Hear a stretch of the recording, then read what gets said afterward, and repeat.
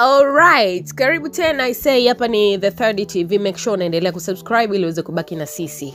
Um, kibongobongo kuna hii tabia ya media kuweza kuripoti habari za mastaa kama ambavyo sisi pia tunafanya, lakini mara nyingi uh, media zimekuwa zikiripoti vitu negative mara nyingi, na sababu kubwa ya kufanya hivyo ni mashabiki, ndo kitu ambacho wanakipenda. So ukiripoti vitu ambavyo viko positive, basi utakosa views. No wonder hata hii video ambayo naifanya leo hapa ikakosa views, but it's okay. Lakini penye ukweli, acha tuseme ukweli, as long as niko na platform ya kuweza um, kuzungumza kitu ambacho kinaweza kikaleta impact kwa namna moja ama nyingine, let it be. Sasa leo niko na listi ya mastaa ambao ni hatari, yani wale watu hatari, moto wa kuotea mbali. Achilia mbali uh, skendo zao mabaya yao ambayo yameshaonekana, yamesemekana, yamefanyika, achilia mbali haya, lakini kuna upande wa pili ambao mara nyingi hauripotiwagi, na huu ni upande ambao mchango wao kwenye hili taifa, mchango wao kwenye industry wamekuwa wakifanya vizuri sana. Tuanze na Diva the Boss. Diva ni moja kati ya watangazaji nguli, ana miaka zaidi ya kumi kwenye game na amefanya vipindi vya malavidavi muda mrefu sana. Alianza na kipindi uh, pale Clouds, kilikuwa kinaitwaje kile kipindi? Alright, ala za roho, ala za roho. Kile kipindi kilikuwa kinaongozwa na Diva na kilikuwa cha moto sana. Uh, kitu ambacho kinafanya Diva aweze kuwa na kipindi kizuri sana hasa cha mahaba ni kutokana na sauti yake, moja, sauti yake, lakini pili, the way anazungumza, the way ana pronounce matamshi yake. E bana, Diva ni mmoja kati ya watangazaji ambao wanaongea vizuri sana. Unajua kuna watangazaji wa aina mbalimbali, kuna watangazaji wa entertainment, kuna watangazaji wa habari hizi ngumu, halafu kuna hawa watangazaji wa vipindi laini kama hivi vya lavidavi, yani very soft. So Diva ameingia kwenye hii listi kutokana na umahiri wake wa kuweza kuzungumza, ukiachilia mbali kujifunza, lakini pia Diva ni mzoefu sana katika hizi mambo. Aha. Kwa hiyo kwenye hili acha tumpe pongezi zake, na pia katika kitu kingine ambacho amepiga hatua na ameweza ni kuweza ku, kuishi maisha yake pamoja na watu wengine wenye kuhitaji msaada. Diva yuko na utaratibu wa kusaidia watoto yatima kila mwaka, huaga anafanya hivyo, na si mtu wa kuposti na kutangaza tangaza, na ndio maana watu wengi hawajui uh, vitu gani Diva anavifanya. Kwa hiyo uh, Diva ameingia kwenye hii listi kutokana na umahiri wake katika suala zima la utangazaji, achilia mbali scandals na mambo mengine yote mabaya mabaya ambayo yamekuwa yakiandikwa kuhusu yeye. hawapendi kuoga na tunavyoambiwa mwanamke at least mara tatu kwa siku. Kuna wanawake hawapendi kuoga wakiamini miili yao ni misafi. Oh, Hiyo ni sauti ya Diva akiwa anatangaza zake hapo Lavidavi kutokea Usafini. Japokuwa kwa sasa hivi hasikiki sana, lakini katika wasanii wa kike nchini Tanzania kuna wasanii ambao wanajua kuimba, lakini Ruby atabaki kung'ara kama jina lake lilivyo. Ruby bwana, sasa hivi design kama amepoa kutokana na mambo ya management na nini. Si unajua mziki sio tu kujua kuimba, mziki una vitu vingi sana ili uweze kutoboa, lakini Ruby atabaki kuwa the best musician wa kike hapa Tanzania wa muda wote. Kinachomkwamisha Ruby ni management tu, pengine labda na uongozaji mzuri wa eh, unajua tena, kwa sababu Ruby angekuwa kwenye lebo kubwa kama Wasafi, pengine sasa hivi tungekuwa tunazungumzia vitu vingine kabisa, lakini nachohisi Wasafi wanaogopaga watu ambao ni wajanja wajanja kama Ruby. Unajua Ruby ni mjanja mjanja, ndio maana hata alishindwana na masuala yale ya cloud ya kuendeshana endeshana, akaamua kukaa kivyake ama akaamua kufanya mziki wake kivyake.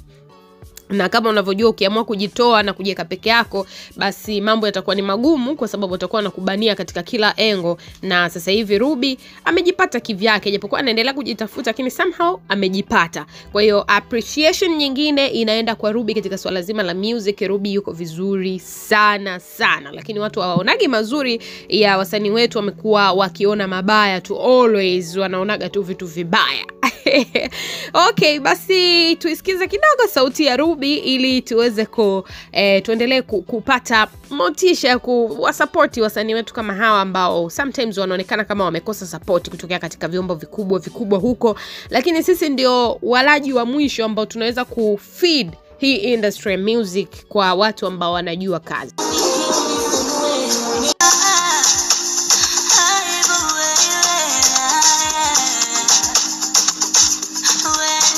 Hiyo ni sauti ya mrembo wetu Ruby kutokea nchini Tanzania ambaye anafanya vizuri sana kwenye industry music and of course kama akipata management nzuri ama akapata sapoti kutokea sehemu yoyote ile, basi mimi I believe kwamba Ruby ni bonge moja la msanii, yani ataipeperusha vizuri sana bendera ya Afrika, achilia mbali tu Tanzania, Afrika nazungumzia. Ruby ni mtu hatari sana. Okay, pengine pia umekutana na waigizaji wengi sana, lakini kuna wale waigizaji ambao wako low key, yani wanafanya kazi nzuri ile mbaya, lakini sio watu wa kutafuta trend, sio watu wa kutrend Instagram. Ni watu ambao ukiwapa kazi yako ya movie, basi watakunyoshea ile kinoma noma. Na leo tuko na mwanadada Miriam Ismail. Emana, huyu dada, tafuteni filamu zake, tafuteni um, uh, tamthilia ambazo anafanya, alafu mtakuja kuniambia ni bonge moja la actress ambaye anafanya vizuri sana hapa nchini Tanzania. And of course leo mimi na najaribu kupekenyua wale watu ambao wako low key. Sitaki kuzungumzia kina Wema, sijui kina Woya. No, no, no, no, no. Of course Miriam anafanya kazi na Woya sana na ni watu wa karibu, na kama mnavyoona ni, ni, ni kidogo age kidogo inaenda, lakini ni mrembo. Yani ukimweka Miriam na mimi, mi naweza nikaonekana nimezeeka, lakini Miriam anaonekana bado yuko vizuri sana, na ikitokea siku wanahitajika uh, wasanii kwenda kufanya kazi ambayo itawakilisha Afrika nazungumzia Afrika, basi Miriam yuko katika kiwango cha kuiwakilisha Afrika.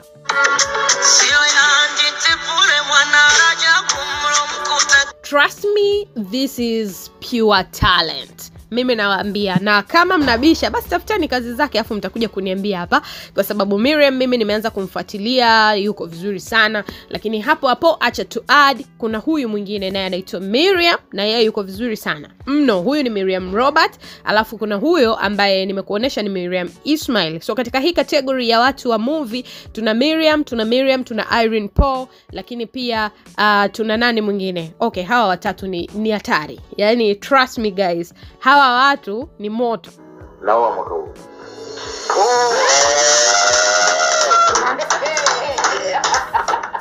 How you talking, Masai? ameongea kwa herufi kubwa. na kinachonifurahisha zaidi ni kuona wale mastaa ambao wanajua wanachokifanya wanakuwa wanajuana wanakuwa wako karibu eh, wanakuwa wanafanya vitu vyao pamoja. Kama hivi miriam robert na miriam ismail mnaona wanatambuana na wanafanya uh, baadhi ya vitu vyao pamoja. This is very good thing kwa sababu pengine kuna siku wanaweza wakaamua kufanya kitu chao na kikawa kikubwa kikaenda mbali. Masta wengi sio maproducer mjue ni waigizaji tu so kuorganize kitu na kuaga ni ngumu? Yani Tunu, nisikudanganye, moyo wangu una amani sana, yani sija sijaumia kabisa kumpoteza huyo Toni kwa sababu okay. Tumeshazungumzia filamu tumezungumzia music tumezungumzia utangazaji. Sasa turudi katika swala zima la dancing. Kibongobongo kwa sasa hivi uh, ukizungumzia dansa mkali basi huwezi kuacha kumtaja huyu mwanadada pa anayeitwa ama anayejiita mrs energy because I'm sure ili sio jina ambalo amepatiwa na wazazi wake. Mrs energy ama uh, Set Phoebe, i think kama sijakosea jina lake ndo hilo ni dansa hatari sana kwa sasa hivi com BG, BG. Na kama utakuwa umefuatilia nyimbo nyingi sana za Rayvanny za Diamond nyimbo uh, za mapiano kina Chino Wanaman utakuwa umemwona sana huyu mwanadada. Na hii si kwa sababu tu anajua sana kucheza lakini pia nyota yake imeng'ara. Yes. Uh, miezi kadhaa iliyopita Angel Nyigu ndo alikuwa ametake over katika swala zima la madansa wa kike. Lakini kwa sasa hivi ukizungumzia dansa wa kike basi nywele za pinki zinatujia kichwani na kuona okay Tanzania tunaye dansa wa kike mtu hatari sana ambaye anaitwa Mrs Energy na of course jina lake hilo lina fit kabisa na energy yake kwa sababu always anachezaga kwa nguvu na watu wamekuwa wakimwambia kwamba wewe hujui kucheza bwana unatumia nguvu. Lakini mwenyewe amejibu kwamba na ndio maana nimejiita Mrs Energy. Kama unajio unaona mimi sijui kucheza basi usinifuatilie. Unasemaje sijui kucheza na umenifollow bro? So kwenye upande wa dancing maua yake apewe mrs energy guys maua yake apewe mrs energy kwa sababu kazi yake ni nzuri tunaiona tunaitambua tunathamini mchango wake na lazima ajue kwamba yeye ni mkubwa kuliko anavyofikiria. I hope anajua kwamba yeye ni mkubwa lakini aelewe kwamba ni mkubwa kuliko anavyojifikiria kwa sababu anafanya kazi nzuri inaonekana duniani kote sio kitu rahisi. Anajitahidi kufanya kazi sana. Ni mchapa kazi huyu msichana kiukweli jamani. Na ndio maana deals zinakuwa ziko nyingi sana kwake. Alafu hata ringi havimbi yani. Unajua kibongobongo tunapenda mtu ambaye havimbi. Na huyu mwanadada ndivyo hivyo ambavyo anaishi. So mrs energy ameingia kwenye hii listi ya wale watu hatari sana ambao wanatikisa entertainment industry kwa sasa hivi. Pengine alafu wakoloki unajua. Yani watu wakoloki ukiwaona unawachukulia poa lakini ukweli ni kwamba vipaji vyao ni vipaji hatari sana. Okay sasa tukija katika swala zima la mitindo modeling eh, fashion basi hamisa mobeto anaikamata hii nafasi japokuwa hamisa mobeto wala sio lowkey hamisa mobeto nyiwe wote mnamjua na mnajua kazi zake. Hamisa ameingia kwenye hii listi kwa sababu amejitahidi sana kutunza Uh, I mean, amejitahidi kutunza brand yake jina lake heshima yake and everything. Hamisa sio mwongeaji pengine ndio kitu kingine ambacho kinamsaidia kwa sababu kama angekuwa ni mwongeaji angeshekuwa ame, amechafua hali ya hewa kinoma noma kwa kuchambana na watu kwa sababu watu wamekuwa wakimtrigger wakimchokoza lakini uwaga yuko kimya. Lakini kitu ambacho kimemfanya aweze kuingia kwenye hii listi ya watu hatari ni kwamba ananyota huyu msichana japokuwa ameshakataliwa sana amepitia vitu vingi lakini nyota yake inaendelea kung'ana kwenye suala zima la fashion. Yuko vizuri kwa sababu sio tu show off anazozifanya lakini anaonekana na anaonyesha kazi yake ambayo anaifanya na ndio maana makampuni mengi yamekuwa yakimwamini na kumpatia ubalozi mbalimbali. Mbali. kwa mfano makampuni ya nywele yamekuwa akimpatia sana ubalozi kwa sababu wana, wanauona mchango wake kwenye jamii. Huyu haimbi na of course anaimbaga kwa kujifurahisha haigizi na uoga anaigiza kwa kujifurahisha. Yani sio kwamba ni official mwigizaji ama official mwimbaji anajifurahishaga tu lakini angalia jinsi ambavyo watanzania wamemfollow. Kwa kupiga picha tu na kuziposti instagram wauogopi ana followers milioni kumi mpaka sasa hivi na wengi waliongezekaga kile kipindi alichozaga na diamond Platnumz, ndio akapata umaarufu zaidi na kwa sasa amefungua duka lake I mean, sio kwa sasa lina muda ili duka. Anauza vitambaa vya kushona uh, hasa hasa magauni ya design hiyo na pia anauza hayo magauni kwa hiyo ni mwanadada ambaye yuko independent kwenye swala la kiuchumi lakini pia ni mwanadada ambaye fashion anaijua vizuri sana eh? Eh, najua mtasema mbona faima ana, ana, anafanya vizuri kwenye fashion lakini huyu ame add value kwa kufanya vitu vyake kuwa vizuri na vikubwa zaidi. Ehe, hana mambo ya kujibizana na mtu yuko kimya kimya yani anajiheshimu na anajiheshimisha kwa hiyo brand yake imekuwa iko safi kuliko pengine ya modo yoyote hapa nchini tanzania. Wewe nionyeshe modo gani mwingine ambaye ametulia afu yuko bongo? Ni hamisa mobeto peke yake na ni strong woman kwa sababu amepitia challenges nyingi sana kwenye swala la mahusiano na vitu vingine kama hivyo. So apewe maua yake uh, akiwa amewakilisha models